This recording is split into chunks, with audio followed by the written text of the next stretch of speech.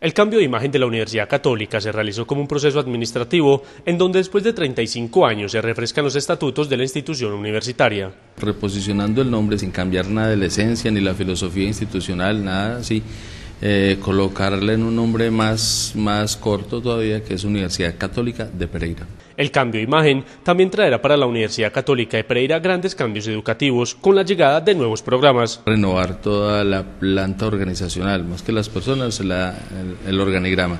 Y asimismo la presentación de nuevos programas, sobre todo maestría en desarrollo regional y el programa de ingeniería industrial. Esta semana se realizará el lanzamiento oficial del cambio de imagen de la Universidad Católica de Pereira.